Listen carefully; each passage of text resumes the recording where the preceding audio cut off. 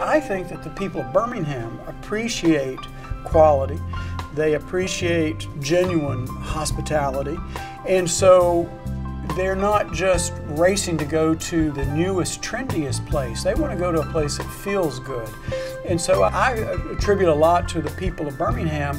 They know what they like, they know what's good, and they they support the places that they that, that they enjoy. And so I think that the community as a whole is is kind of pulling for Birmingham. I mean, everybody from the mayor to uh, you know the business people, the UAB.